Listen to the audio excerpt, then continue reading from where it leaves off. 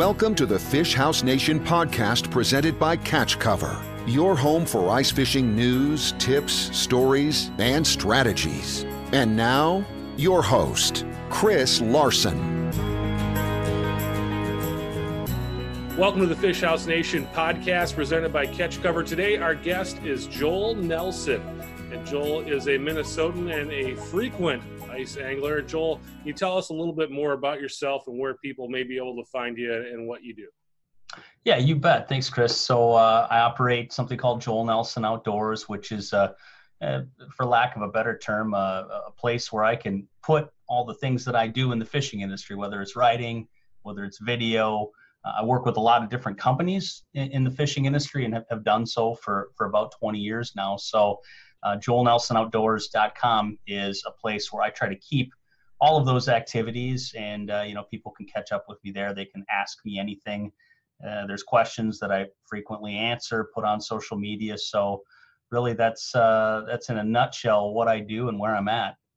And joel we wanted to have you on. It's you know we're still got a few months before we've got ice on the lakes and people are kind of thinking about getting their stuff ready. We wanted to have you on and talk about rods and how people can pick out the best ice rod for their use. First of all when someone's thinking about buying a rod there's a lot of different options and places they can go. You've got the local joints you've got um, a big box retailer you've got online stuff. Where should people go if they're thinking about getting an ice rod? Where should they start their search? Wow um, it's a good question. I, um, you know, I'm going to back up a little bit and say that, you know, when I started looking more seriously at ice rods, um, I went straight to the source, which, uh, you know, there were a lot of custom shops kind of popping up. Thorne Brothers comes to mind. Um, they were some of the first that were originating new designs, new blank technologies, different lengths, uh, powers, actions for different species, and that was really a rel- you know kind of revelation back then.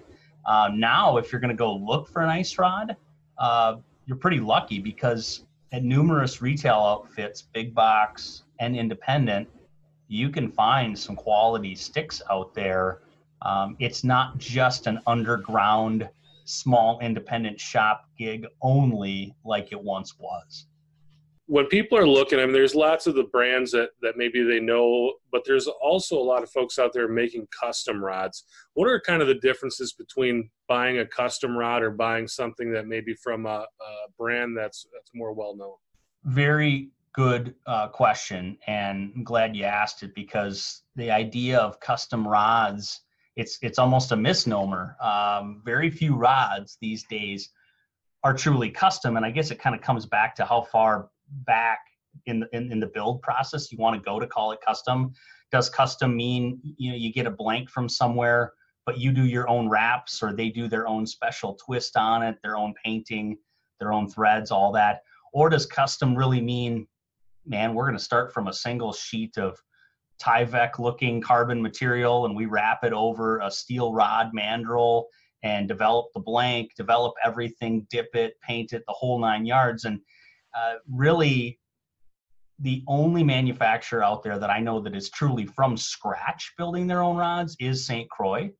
Um, they're they're taking that that carbon fiber material and building the rods from scratch. Now that's not to say that every single rod is individually made at a specific length that a customer engages, uh, specific colors, specific names and conventions. It's not custom in that sense. And previously, that's what custom made. It, it custom was a blank that you could configure to whatever length you wanted, to whatever colors you wanted, and really add some of the finishing touches. Um, so, so the whole term custom, it's it's kind of a weird term for me because uh, custom doesn't mean what it used to in many respects. So, if someone's looking to get their first ice rod this year, or maybe just add to their arsenal, what are kind of the main things that they should think about before laying some money down on the counter? Uh, first and foremost is what do you fish for? Um, that's that's like the first question I ask because I get that question all the time. What rod should I get? Well, what do you fish for? And then start breaking it down and really get into the weeds because it's so interesting. If you look in the open water rods market, for years now, we've been customizing every angle about how we fish Are you jigging? Well, what kind of jigging are you doing? Are you pitching jigs out from the boat? Are you fishing directly below the boat vertically? Are you fishing deep water with heavier jigs? Are, are you fishing with light jigs? Are you fishing for panfish, walleyes? And that level of detail from the open water side is now starting to show itself on the ice rod side. So you need to take a long, hard look at the types of fishing you do for what species, what depths, what lures, and then also where are you fishing? Are you fishing outside? Are you fishing inside? You're going to have rod length considerations to deal with there. So it, it really starts with kind of a full on analysis of what you do, where you do it, and how you do it. And from there, uh, the recommendations come a little bit easier. What should an ice angler look for when they're choosing a rod for panfish? In pan fishing today, there's two main uh, powers and actions. Um, the first is is kind of a little bit more traditional. It's a little it's slightly stiffer rod. It's still a light power, but an extra fast action. And tungsten has been the rage in pan fishing, right? The tungsten jig steel, add, add some plastics. You've got the ultimate in attraction. And a, and a light power, extra fast action rod is going to do a really good job to make that plastic just dangle and, and wiggle perfectly and give you a ton of control in the process. Now, on the other side of the panfish realm, you've got um, a noodle rod. Um, we've all probably heard the term noodle, and power noodle is something that's been thrown about over the years. Well, all that is is a rod with a lot of forgiveness towards the tip. It it's a fiberglass section on the rod tip that basically allows the angler to detect the bite via sight. You watch that rod load up, you watch a panfish just tickle the end of it. But then when you go to set the hook, the back section, the butt section, that rod's extremely stiff, meaning that it goes from a ton of give to no give like instantly. So those are the two kinds of powers and actions if you're a panfish angler that I would consider. And uh, really, a lot of it comes down to how do you detect a bite? Do, do you look at the rod tip and do you want that extra forgiving tip? And it's almost like a, you know, it's almost like a bite indicator. Or do you like more control of your lure and you like feeling the bite versus seeing it. So really that's kind of the two panfish sides broken down. All right. How about the walleye angler? You know, I like to fish for walleyes in two different settings and scenarios. The first is roaming the open ice. Uh, could never get enough of that. It's awesome. Big waters, drilling lots of holes, uh, dropping spoons down all over the place, jigging Raps, perhaps, things like that. And in that case, I'm fishing outside. I want to be standing up. I'm looking for a slightly longer rod uh, in a medium light or a medium power. But again, the fast and extra fast actions are really beneficial to putting a good hook to a walleye, especially bigger fish, right? You, they have hard mouths, and a lot of times spoons are small and the hooks are small. So to drive that hook home, that's what I'm looking for in a longer 32 inch plus rod, 34, 36 or longer. Now, if I'm fishing primarily inside a 36 inch rod, you know, I might set the hook and nail the furnace or hit the ceiling fan or something like that. So we got to shorten that stick up a little bit, something like 28 inches. Um, and as a general rule, I'm, I'm trying to fish with as long a rod as possible, given any circumstance, whether I'm in a portable, uh, whether I'm in a permanent, or whether I'm outside. What should anglers look for when choosing a rod for big fish like pike or lake trout? You know, definitely your presentation is going to bear what kind of rod you're fishing. If you're fishing for Lakers way up in the Canadian Shield and you're using ounce and a half, two ounce airplane jigs, you need a rod that can stand up to that amount of weight uh, so that the rod isn't sloppy and you have you know you don't you maintain control of the bait. In other words, now pike a lot of times um, you don't need that much stiffness in a rod because you're fishing lures that are slightly lighter. Um, and, and in that respect, a good spinning rod, uh, again, long as possible. Longer the fish, bigger the head shakes, more chance they have to put slack in the line. I'm looking for a long rod and a medium heavy, up to a heavy power. Um, again, with that fast, extra fast actions, I really prefer. Now, that said, if you're fishing in slammers, in some states you can fish those automatic fishermen's automatic hook setters. You want a rod that's a little bit more forgiving, something that's fiberglass, something that has a slower action to it. So um, it's hard, as you can tell. I, I'm I'm talking a lot about the different scenarios, and really that's what it comes down to. What scenario do you fish with what lures for what species and what depths. Yeah, we've been talking species, and the next thing I was going to ask you is how much is the the depth of water that you're fishing in? How much does that play into it, and and what they should look at? You know, one guy that maybe is fishing a lot of uh, shallow lakes, maybe he's in 10 feet of water compared to somebody who's out in, in the deep lakes that are, you know, they're, they're dropping down 40, 50 feet. You know, uh, it's a good question. I think presentation has as much to bear as anything. Deeper the water, typically the heavier the jig or the heavier the lure, uh, in which case you need a heavier power on the rod. And it's funny because we're really getting into the weeds here. We're talking species specific, depth specific, and people say, "Hey, you know, aren't you going a bit overboard?" I've fished with the same rod for walleyes my whole life, and the que- and the answer I always have is, but perhaps, you know, uh, to each their own. You know, get as specific as you want, but I, I always liken it to a screwdriver. You know, I can use a screwdriver as a hole punch.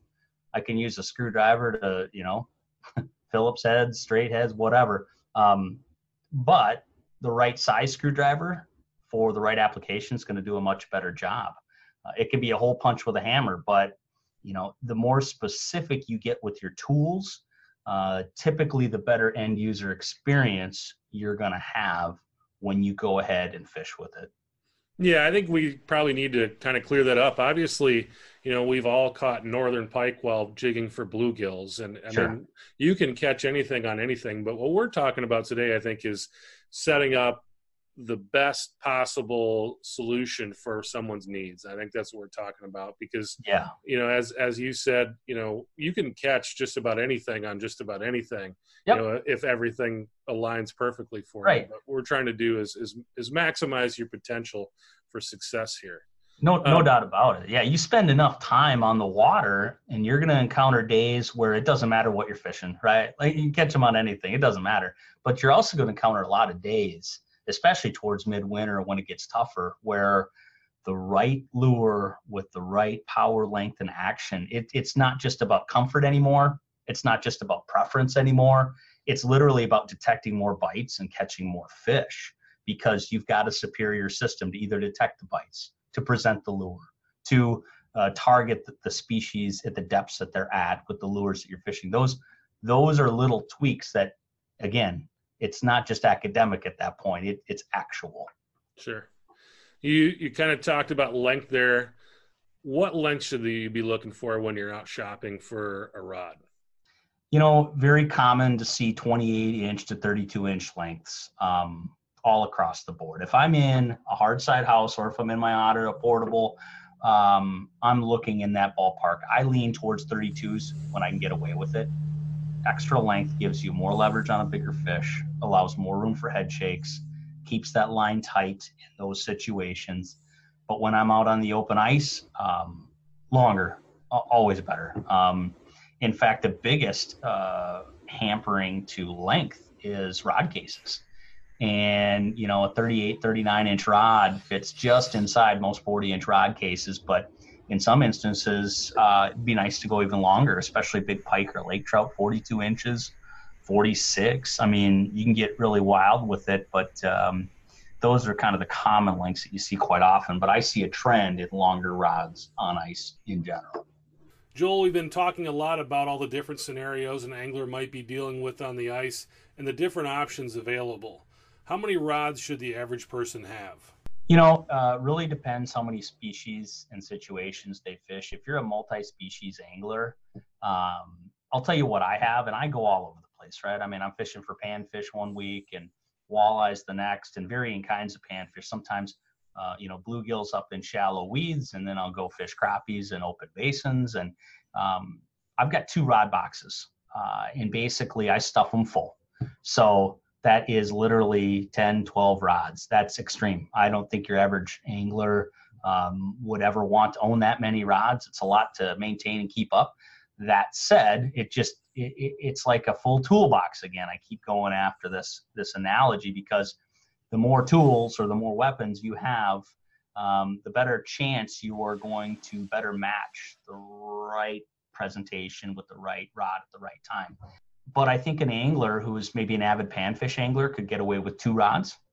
maybe three, depending on how many different looks they wanted. I mean, in some respects, it's an expensive kind of luxury to have, but to have another rod rigged up with a different presentation ready to drop on that same fish, well, sometimes that's going to get you 90% of your bites the second drop with a different bait. So, um, really, it's a lot of personal preference. And if you're fishing a bunch of different species and you're going all over and they're widely varied, 10 to 12 rods isn't out of the question. But if you're fishing primarily a single species or a single type of fishing on the same lake, yeah, two to three rods might be all you need.